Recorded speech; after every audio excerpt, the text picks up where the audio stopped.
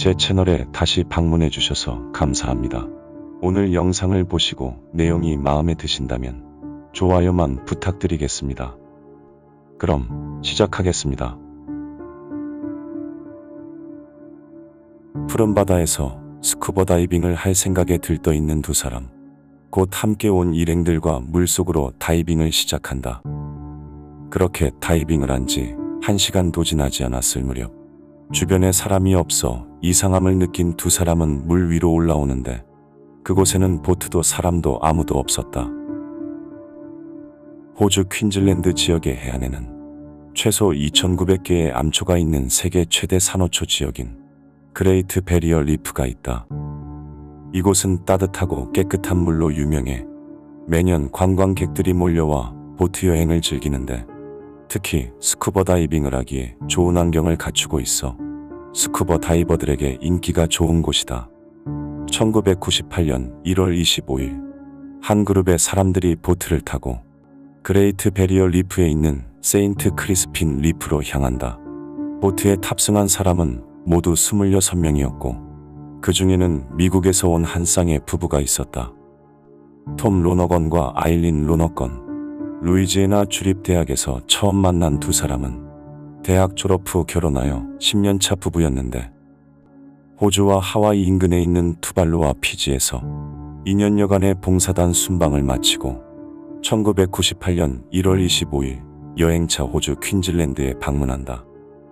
평소의 취미로 스쿠버 다이빙을 즐기던 아일린 덕에 남편 톰도 함께 스쿠버 다이빙을 즐겨왔는데 그렇게 두 사람은 퀸즐랜드에서 다이빙을 하기로 하였고 곧 보트에 올라 목적지로 향한다.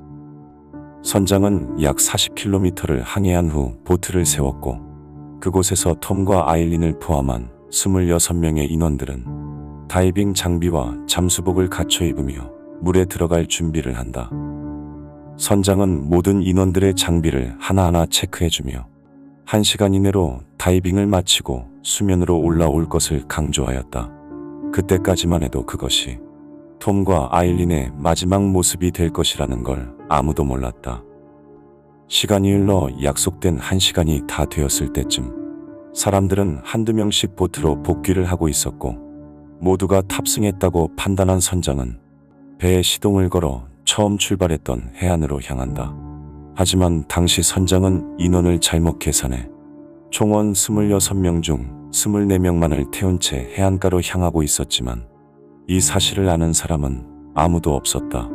같은 시각 물 위로 올라온 톰과 아일리는 보트가 보이지 않자 뭔가 잘못됐음을 깨달아 순간 공황 상태에 빠졌을 것으로 추정되며 자신들이 보트로부터 버려졌다는 것을 깨달았을 것이다.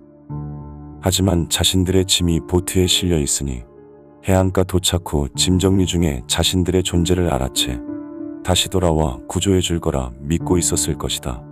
그러나 무슨 이유에선지 해안가에 도착한 선장은 보트에서 별다른 특이점을 발견하지 못한 듯 그날의 스쿠버 다이빙 일정을 종료 처리해버렸고 그렇게 두 사람은 사고 시간으로부터 약 48시간 동안 잊혀진다. 사고 후 약 2일의 시간이 흘렀을 즈음 한 사람에 의해 보트 한 구석에 박혀 있는 짐 가방이 발견되었고 그 안에서 부부의 지갑과 여권이 발견되어 최근 보트 탑승객 명단과 대조를 해보던 중 톰과 아일린의 이름을 발견하고 그제서야 두 사람의 실종을 인지한다. 그 후 약 3일간 대규모의 항공해상 수색이 시작되어 사고 지점 일대를 샅샅이 수색하며 인근 섬을 모조리 뒤져봤지만 결국 두 사람을 찾는데 실패한다. 그때는 이미 사고로부터 많은 시간이 흘러 골든 타임이 지난 뒤였다.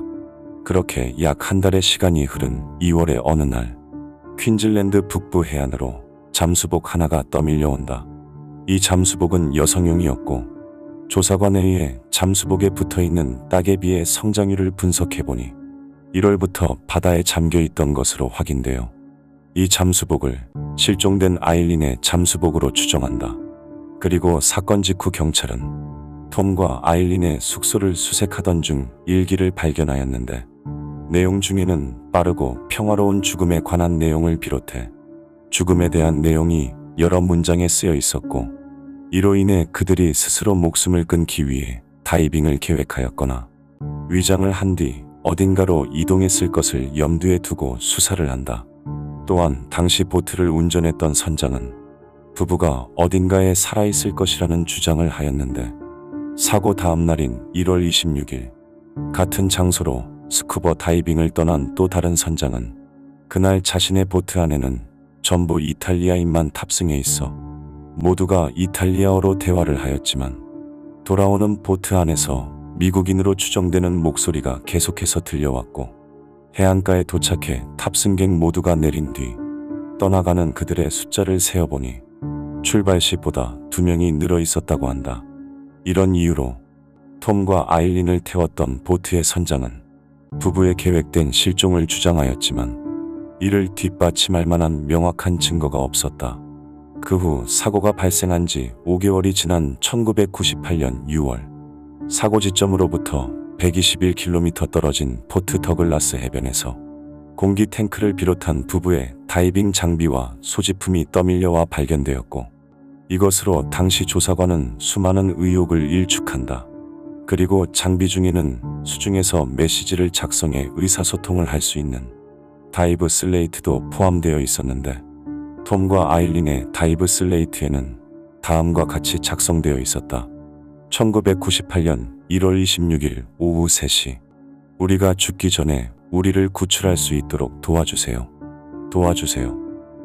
메시지는 사고 당일인 25일 이후에 작성된 것으로 보여 그들이 적어도 하루 동안은 물에 계속 떠 있었을 것으로 추정됐다.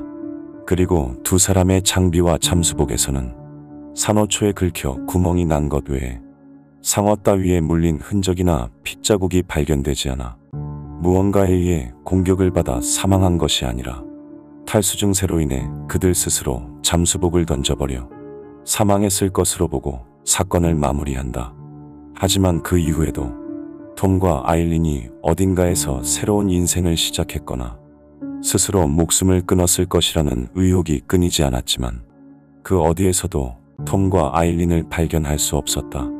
결국 보트를 운전했던 선장은 불법 살해 혐의로 기소되었지만 최종적으로 무죄 선고를 받았고 선장이 속해 있던 회사는 과실이 인정되어 벌금을 물고 폐업한다. 후에 이 사건은 영화의 소재가 되어 2003년 Open Water라는 영화로 개봉되었다. 영상을 끝까지 봐주셔서 감사합니다. 영상에 대한 의견이나 보고 싶은 영상이 있으시다면 댓글로 남겨주시면 감사하겠습니다. 감사합니다.